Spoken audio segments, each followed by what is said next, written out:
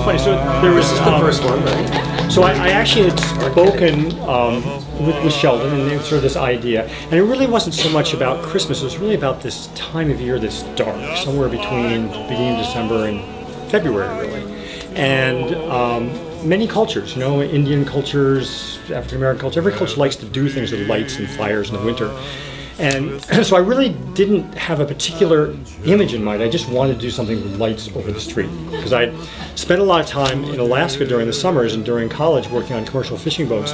And there was just this amazing sky up there. And I got back here and it's like, oh, there's no sky. This is really sad.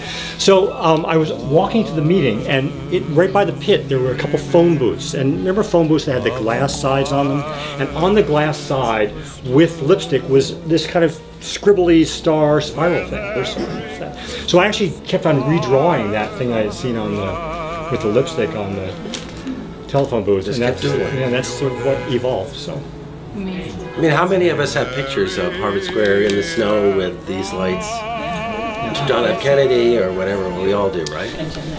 Well, we have been friends and quixotic partners with Ross, I think, from almost the very beginning, uh, for a little over 40 years now. uh, and the Winter Lights are, of course, as we saw, you know, roughly 30 years old. And of course, I think many of you know there are also new and other lights that are down in Central Square and other parts of the city that Ross has also done. So, I mean, the city, city literally lights up during the holidays because of Ross Miller and because of what got started right here in Harvard Square.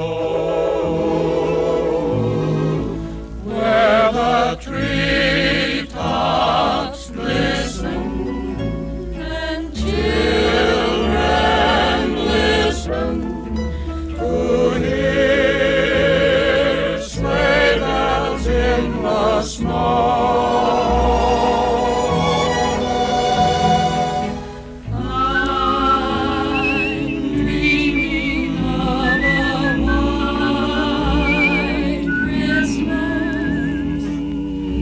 With every Christmas card